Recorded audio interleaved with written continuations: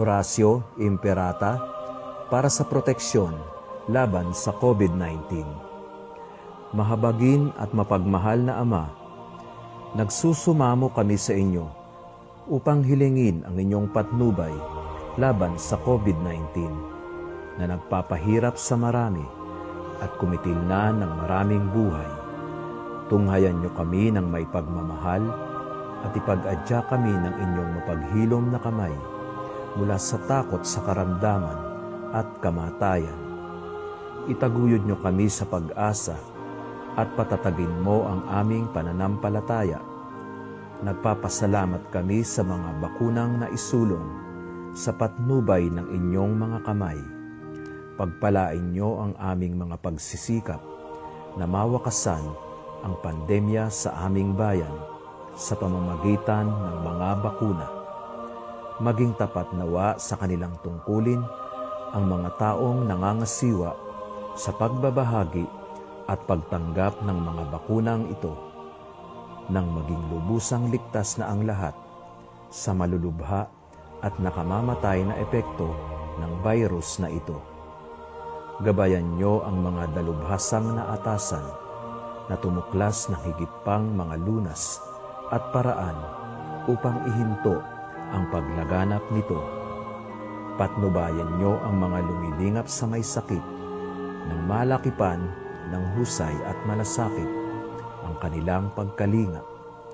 Pagkalooban niyo sila ng kalusugan sa isip at katawan, katatagan sa kanilang paninindigang maglingkod at ipagsanggalang niyo sila sa karamdaman. Itinataas namin ang mga nagdurusa, makamtanawa nila ang mabuting kalusugan. Lingapin niyo rin ang mga kumakalinga sa kanila.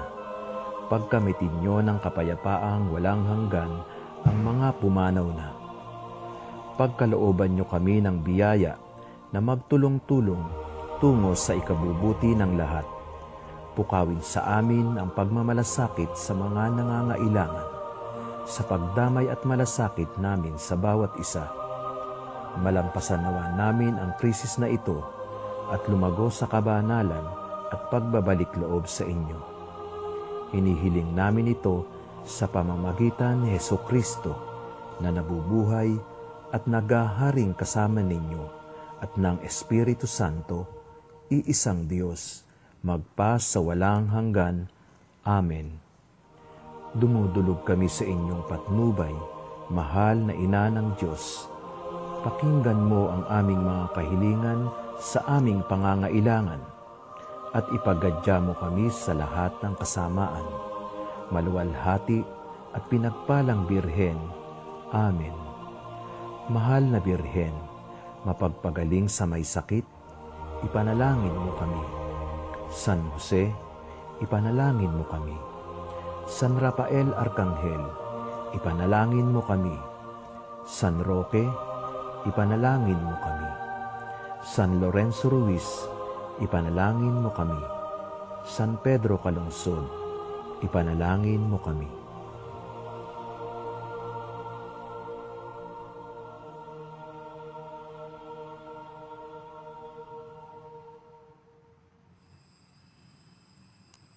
Magsitayo na pong lahat.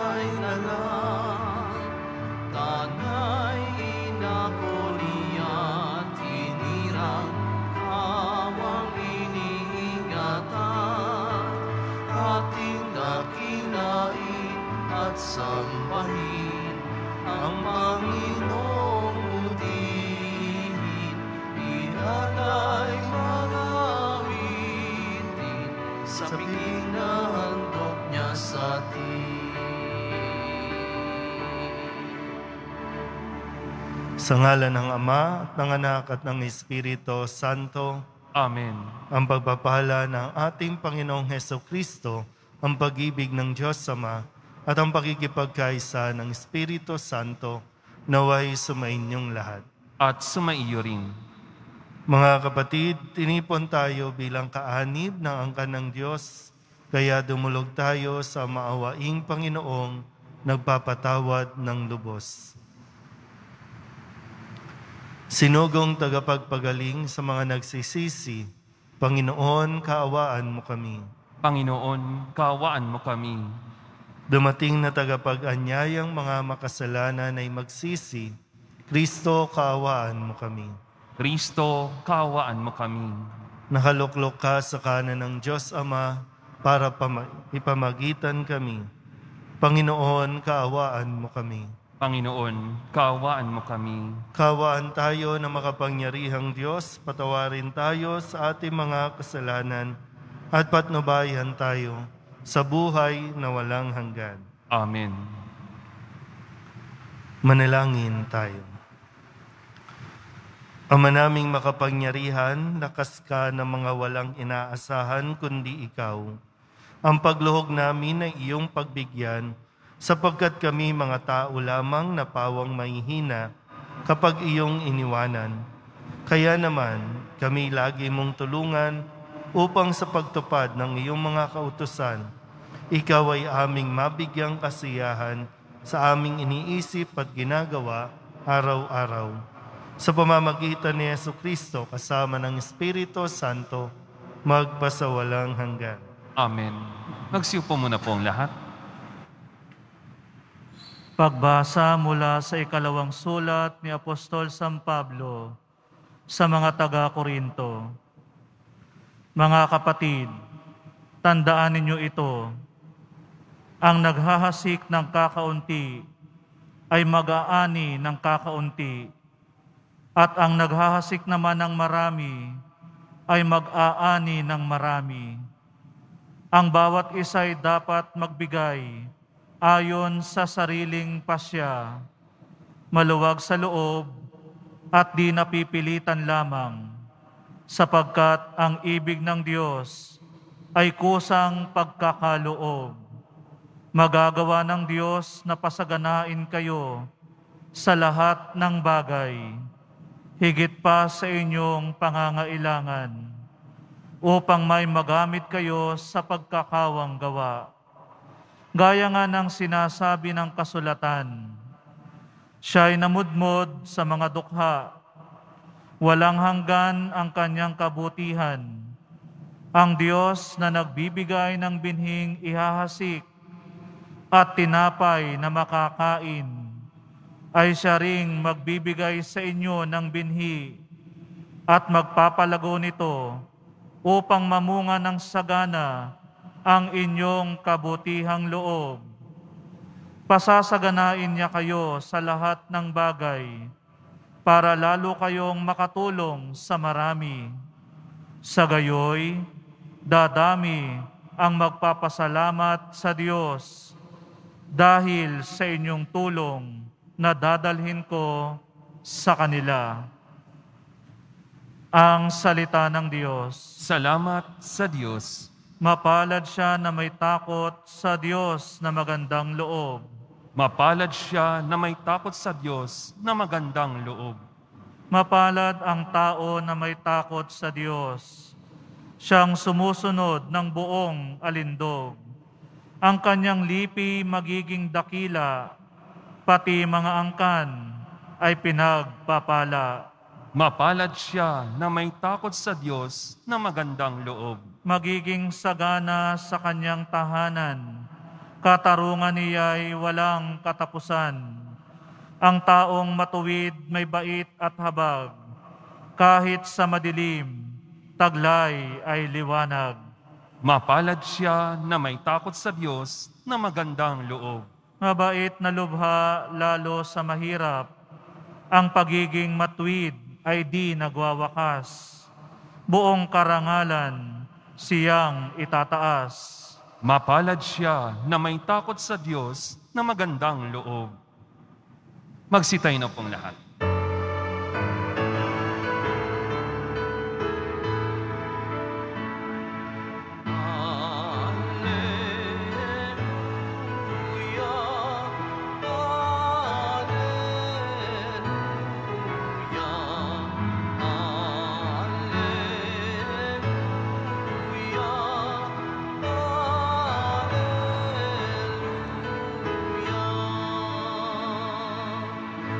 Ang sa akin nagmamahal. Tutupad sa aking aral, ama't ako'y mananahan.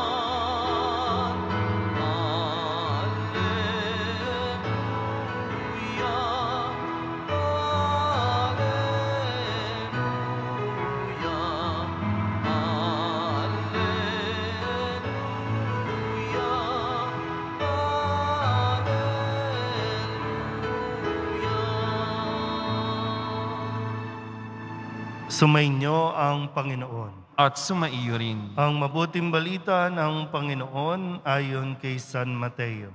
Papuri sa iyo, Panginoon. Noong panahong iyon, sinabi ni Jesus sa kanyang mga alagad, Pag-ingatan ninyo na huwag maging pakitang tao lamang ang paggawa ninyo ng mabuti. Kapag ganyan ang ginawa ninyo, wala kayong matatamong gantimpala buhat sa inyong amang nasa langit. Kaya nga, kapag naglilimos ka, huwag mo nang ipagmakaingay ito katulad ng ginagawa ng mga mapagpaimbabaw doon sa sinagoga at sa mga lansangan. Ginagawa nila ito upang purihin sila ng mga tao. Sinasabi ko sa inyo, tinanggap na nila ang kanilang gantimpala. Ngunit kung maglilimos ka, huwag mo nang ipaalam ito kahit sa iyong pinakamatalik na kaibigan upang malihim ang iyong paglilimos. At gagantihan ka ng iyong amang nakakakita ng kabutihang ginagawa mo ng lihim. At kapag nananalangin kayo, Huwag kayong tumulad sa mga mapagpaimbabaw.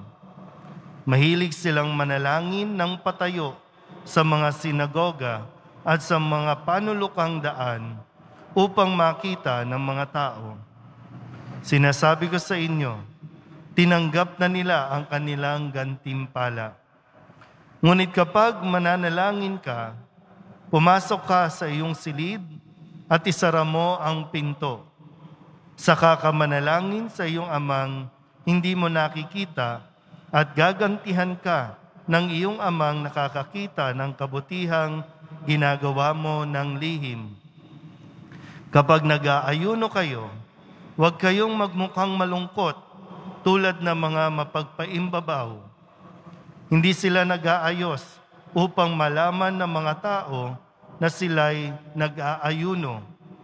Sinasabi ko sa inyo, tinanggap na nila ang kanilang gantimpala. Kapag ikaw ay nag-aayuno, mag-ayos ka ng buhok at maghilamos upang wag mapansin ng mga tao na nag-aayuno ka. Ang iyong amang hindi mo nakikita, ang siya lamang makaalam nito. Siya na nakakakita ng kabutihang ginagawa mo ng lihim, ang gaganti sa iyo. Ang mabuting balita ng Panginoon. Pinupuri ka namin, Panginoong Heso Kristo. Magsiupo muna pong lahat.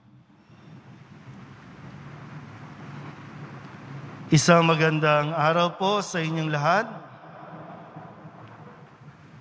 Sa atin po bilang mga tao, ang isa sa medyo ayaw nating makilala o ma-associate o maging kaibigan ay yung mga taong plastic.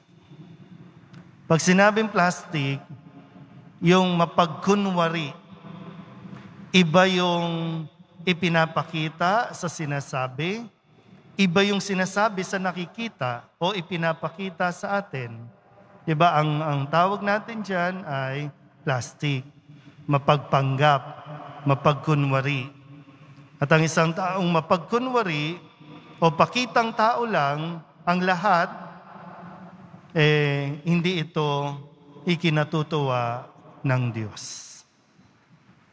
Mayroon tatlong gawain na mahalaga sa buhay ng mga Hudyo.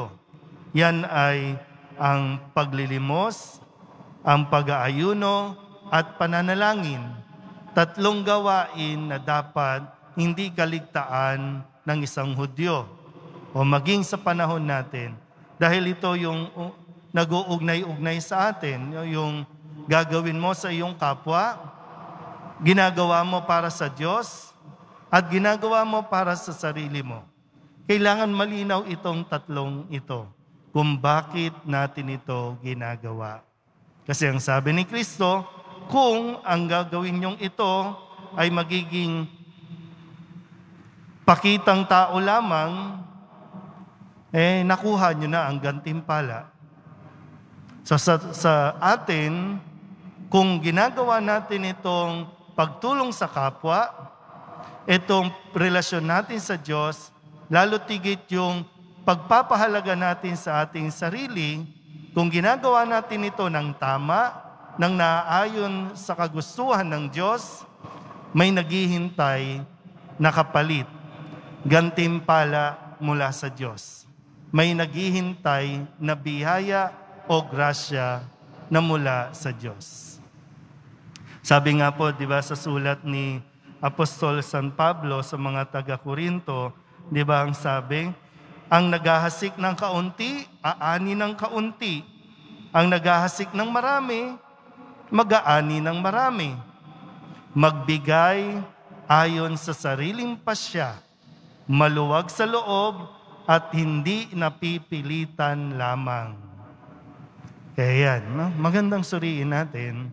Sa ngayon po ba, itong ginagawa natin, ano ba, marami kasi ngayon yung nakaka-pressure eh ginagawa ng mga tao ang mga bagay na ginagawa nila kasi napipressure. Ginagawa natin ang maraming bagay sa panahon ngayon kasi gusto natin mag-viral. Diba? Usong-usong ngayon ang mga viral. Lahat ng ikikilos, lahat ng gagawin, naka, no, naka, ano tawag yan? Naka-video, tapos ipopost, no, ipangangalandakan, wala namang masama po sa paggawa ng no sa pagdo-document ng mga tulong. Pero ang sabi nga natin, ang sabi nga po sa ebanghelyo, may gantimpala naman diyan. Kaya nga sabi, malinaw ba sa iyo yung motivation mo? Bakit ka simba ng simba araw-araw? Bakit ka nagbibigay ng tulong araw-araw? Bakit ka nag-aayuno araw-araw?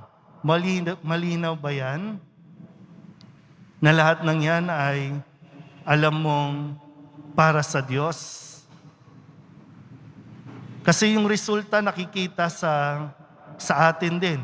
Kung ito ba ay nagdudulot sa iyo ng saya o nagdudulot lang ito sa iyo ng pressure. Too much pressure. Na kahit anong kahit ilang views pa, kahit ilang umabot pa ng milyon ang, ang mag-like sa iyo, pag hindi mo pa rin nararamdaman yung tunay na saya, may mali, mayroong hindi tama sa ginagawa natin. Kasi nga po, baka ang gusto lang natin kasi magpapansin, mapansin, Ang gusto lang natin, sumikat, mag-viral. Minsan, gusto natin mag-viral at the expense of others. Gagamit tayo ng ibang tao para lamang tayo mag-viral. Pero pagkatapos doon, may saya ba?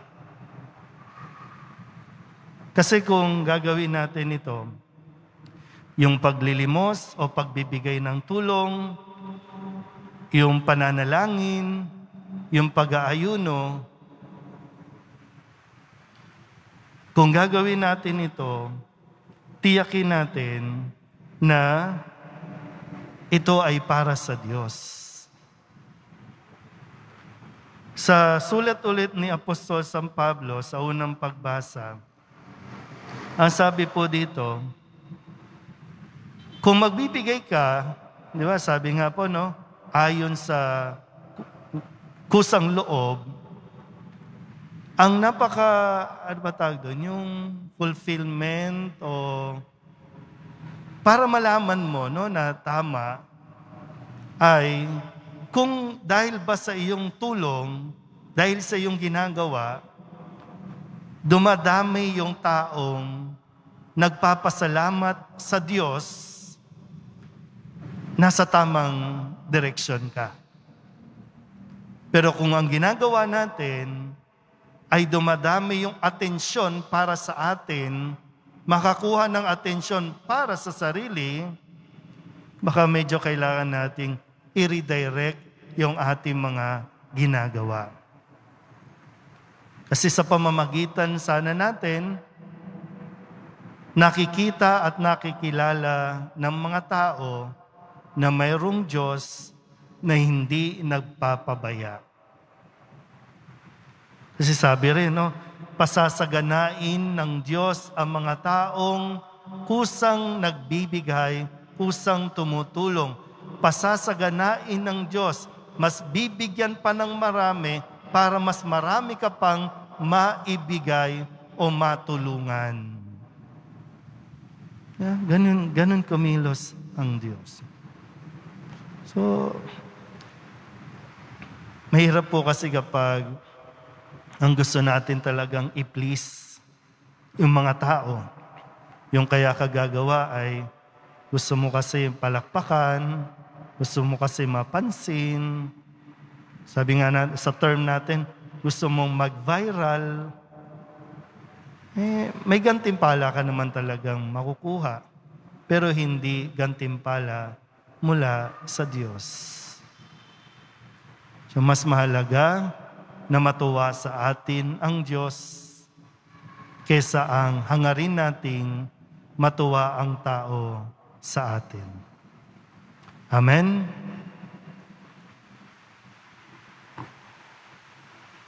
Magsitayo na pong lahat.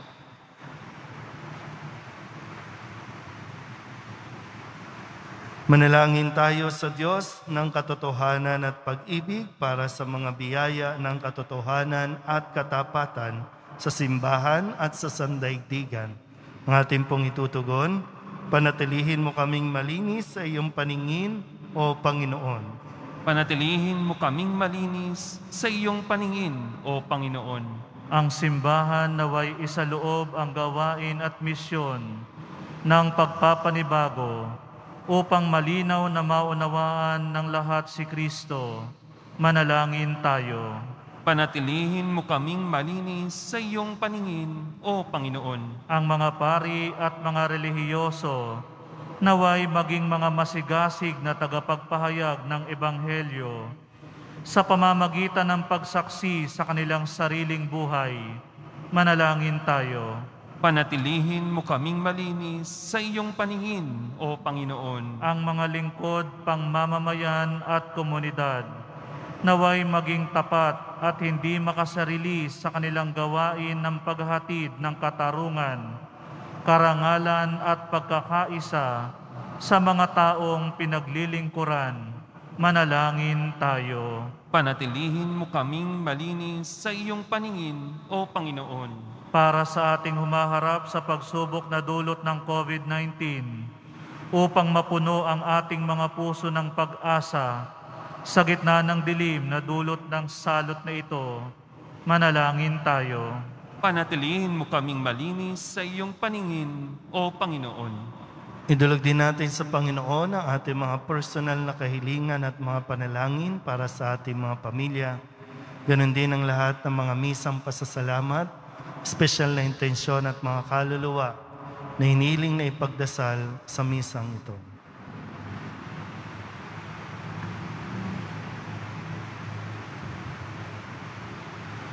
Ang lahat ng ito inihiling namin sa ngalan ni Kristo, aming Panginoon. Amen.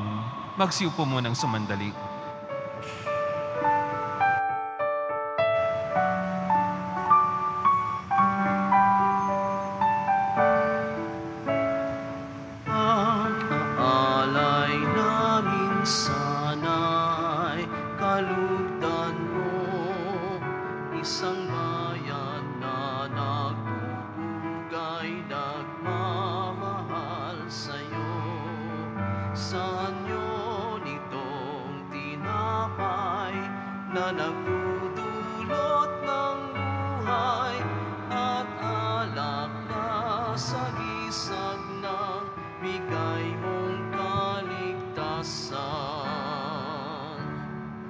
Magsitay na pong lahat.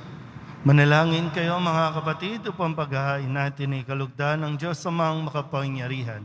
Tanggapin nawa ng Panginoon itong paghahain sa iyong mga kamay sa kapurihan niya at karangalan sa ating kapakinabangan at sa buong sambayanan niyang banal. Ama naming lumikha, kami ginawa mong may angking katauhan na dapat pakainin at pangalagaan at iyong dinudulutan ng banal na pakikinabang.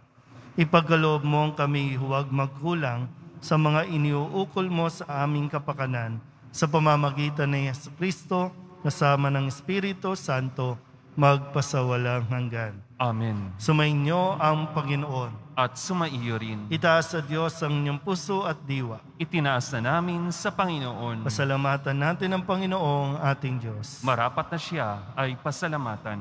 Ama naming makapangyarihan, tuningang marapat na ikaw ay aming pasalamatan sa iyong paglingap at kagandahang loob.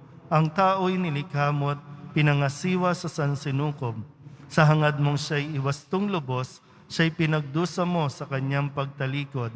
Sa iyong paggiliw, iyong ipinahintulot na makabalik siya sa pamamagitan ni Kristo Jesus. Kaya kaysa ng mga anghel na nagsisiawin ng papuri sa iyo, nang walang humpay sa kalangitan, kami nagbubunyi sa iyong kadakilaan. Santo, Santo, Santo, Panginoong Diyos ng mga hukbo, napupuno ang langit at lupa ng kadakilaan mo. O sana sa kaitasan, pinagpala ang naparirito sa ngalan ng Panginoon. O sana sa kaitasan. Magsilod po ang lahat. Ama naming banal, ikaw ang bukal ng tanang kabanalan. Kaya't sa pamamagitan ng iyong Espiritu, gawin mong banal ang kaloob na ito upang para sa aming maging katawan at dugo ng aming Panginoong Heso Kristo. Bago niya pinagtiis ang kusang loob na maging handog, hinawakan niya ang tinapay, pinasalamatan kaniya, pinaghati-hati ni iyon, iniabot sa kanyang mga alagaan at sinabing, Tanggapin ninyong lahat ito at kanin, ito ang aking katawan na ihahandog para sa inyo.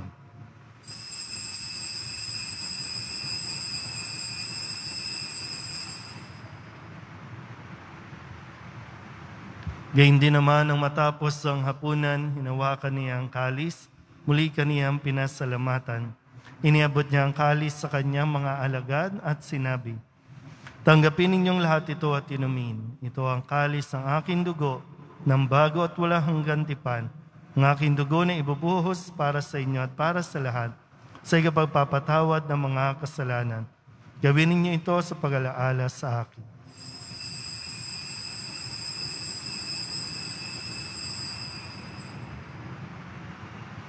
Magsitayo na po ang lahat. Ipagbunyi natin ang misteryo ng pananampalataya. Si Kristo'y namatay, si Kristo'y nabuhay, si Kristo'y babalik sa wakas ng panahon. Ang mga ginagawa namin ngayon ang pag-alaala sa pagkamatay at muling pagkabuhay ng iyong anak, kaya tiniaalay namin sa iyo ang tinapay na nagbibigay buhay at ang kalis na nagkakaloob ng kaligtasan. Kami nagpapasalamat dahil kami iyong minarapat na tumayo sa harap mo para maglingkod sa iyo.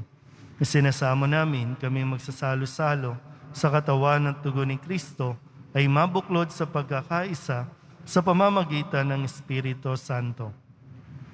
Ama, lingapin mo ang iyong simbahang laganap sa buong daigdig.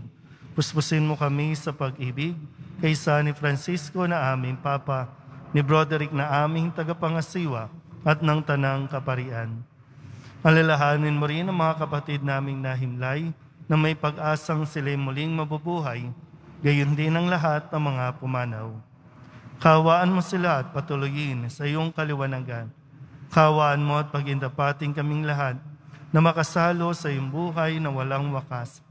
Kaysa ng mahal na Birhen Maria ni Ina ng Diyos, ng kabiyak ng puso niyang sa San Jose.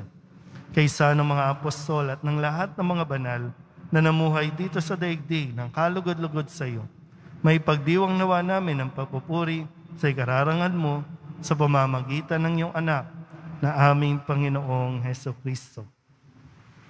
Sa pamamagitan ni Kristo, kasama niya at sa Kanya, ang lahat ng parangal at papuri ay sa iyo, Diyos amang makapangyarihan, kasama ng Espiritu Santo, magpasawalang hanggan.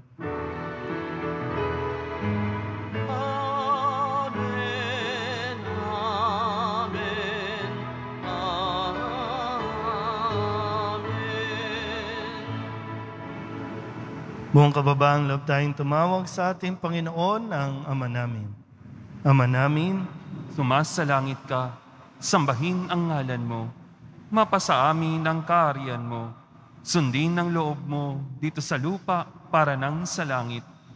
Bigyan mo kami ngayon ng aming kakanin sa araw-araw at patawarin mo kami sa aming mga sala para nang pagpapatawad namin sa nagkakasala sa amin. At huwag mo kaming ipaintulot sa tukso at iadya mo kami sa lahat ng masama. hinihiling namin kaming iadya sa lahat ng masama, pagkalooban ng kapayapaan araw-araw, iligtas sa kasalanan, at ilayo sa lahat ng kapahamakan. Samantalang aming pinananabikan ang dakilang araw ng pagpapahayag ng tagapagligtas naming si Yeso Kristo. sapagkat iyo ang kaharian at ang kapangyarihan at ang kapurihan magpakailanman. Amen. Panginoong Heso Kristo, sinabi mo sa iyong mga apostol, Kapayapaan ang iniiwan ko sa inyo, ang aking kapayapaan ang binibigay ko sa inyo. Tunghayan mo ang aming pananampalataya at huwag ang aming mga pagkakasala. Pagkalooban mo kami ng kapayapaan at pagkakaisa ayon sa iyong kalooban, kasama ng Espiritu Santo, magpasawalang hanggan. Amen. Ang kapayapaan ng Panginoon ay laging sumainyo. At sumaiyo rin. Magbigayan po tayo ng kapayapaan sa isa't isa. Kordero ng Diyos, na nag-aalis ng mga kasalanan ng sanlibutan, maawa ka sa amin. Kordero ng Diyos, na nag-aalis ng mga kasalanan ng sanlibutan, maawa ka sa amin. Kordero ng Diyos, na nag-aalis ng mga kasalanan ng sanlibutan, ipagkaloob mo sa amin ang kapayapaan. Magsilot pong lahat.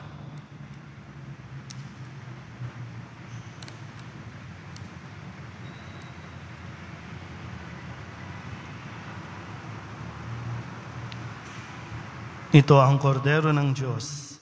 Ito ang nag-aalis ng kasalanan ng sanlibutan. Mapalad ang mga inaanyahan sa kanyang piging. Panginoon, hindi ako karapat-dapat na magpatuloy sa iyo, ngunit sa isang salita mo lamang ay gagaling na ako.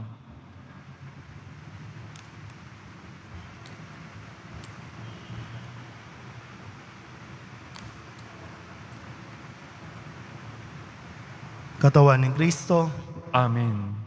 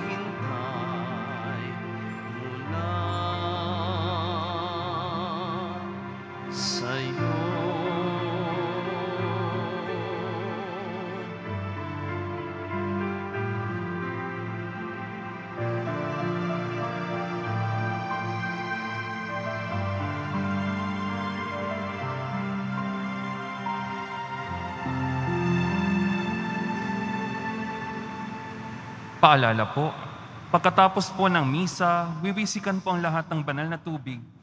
Pinakikiusapan po ang lahat na manatili lamang muna sa inyong mga lugar o kinaupuan. Pagkatapos ng pagwiwisik, nangyari lamang po na maupo muna ang lahat sa loob ng simbahan at hintayin pong bagitin ang grupo ng kulay ng inyong inupuan. Bago po kayo lumabas ng simbahan, tanging sa Quezon Boulevard lamang ang labasan ng lahat panatiliin po natin ang physical distancing sa bawat isa. Maraming salamat po. Magsitayo na pong lahat. Manalangin tayo. Ama naming mapagmahal, ang pinagsaluhan naming banal na pakikinabang na nagpahiwatig ng iyong pakikiisa sa tanang naritong nakikipagdiwang ay magdulot nawa ng pagkakaisa sa iyong sambayanan sa pamamagitan ni Yeso Kristo kasama ng Espiritu Santo magpasawalang hanggan. Amen. Panalangin ng pasasalamat sa biyaya ng bagong arsobispo. Panginoong Heso Kristo, mabuting pastol at dakilang pari, pinupuri at pinasasalamatan ka namin sa pagtawag mo kay Kardinal Jose Advincula upang maglingkod bilang aming arsobispo. Pamunuan nawa niya kami bilang mabuting pastol na kumakalinga sa kanyang kawan at lumilingap sa mga naliligaw na tupa. Siya naway maging mapagmahal at nakikinig na ama, tapat na guro at katiwala ng iyong banal na misteryo. Pagkalooban mo siya ng kalusugan, lakas at karunungan, patibayan mo ang ugnayan ng pagkakaisa sa aming archdiocese upang mapaglingkuran ka namin bilang iisang katawan. Dalisayin mo kami at itaguyod sa pagmamalasakin sapagkat ang iyong pag-ibig sa amin ay hindi nagmamaliw. Itulot mo na ang lahat ng mga mananampalataya ay masigasig na tumugon sa iyong misyon. Ikaw na nabubuhay at nagahari kasama ng Ama at ng Espiritu Santo, Diyos magpasawalang hanggan. Amen. Sumainyo ang Panginoon, At sumaiyo rin. manalangin tayo para sa pagbabasbas. Mahal na pong Jesus sa Sareno, inihiyag mo sa pamamagitan ng krus ang walang maliw na pag-ibig ng Diyos sa sangkatauhan. Pakinggan mo ang kahilingan ng iyong angka na nagsusumamo sa iyo. Makamtanawa nila ang iyong katugunan at tanggapin ang kasagutan na may utang na loob na tinatanaw. Basbasan din po ninyo mga daladala nilang mga imahin at dasalan at lahat ng mga may karamdaman. Sa pamamagitan ng bendisyon na ito, naway maalala nila ang mga pangako nila noon sa binyag na ikaw ang kanilang ibigin at paglilingkuran bilang Panginoon magpasawalang hanggan. Amen. At pagpalain kayo ng makapangyarihang Diyos, Ama at Anak at Espiritu Santo. Amen. Umayo kayong taglay ang kapayapaan ng poong Jesus Nazareno. Salamat sa Diyos. Magandang araw po.